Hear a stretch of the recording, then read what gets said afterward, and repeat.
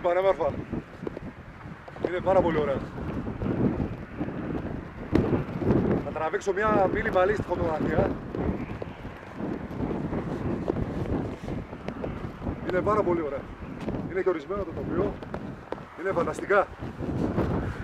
Πολύ χαίρομαι. Λέγομαι Δημητρίου Ηλίας. Είμαι από Φλόρνα, από, από την Ελλάδα. Όπως βλέπετε και εσείς, μόλις πήρες αυτό εδώ πέρα το, το νεβά. Έχει μείον 4 βαθμούς Κελσίου και πάρα πολύ χιόνι, όπως βλέπετε.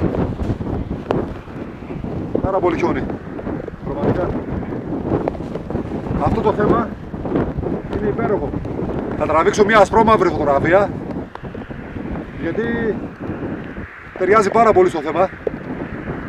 Είναι κάτω παντού. Η δυνατότητα να τραβήξω μια μήνυμα λύση φωτογραφία.